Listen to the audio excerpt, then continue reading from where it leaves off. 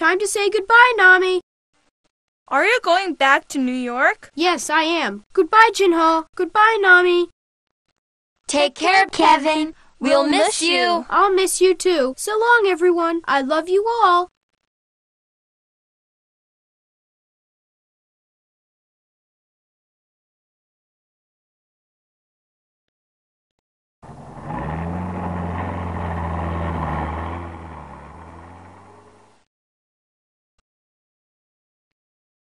See you, Nami. See you again.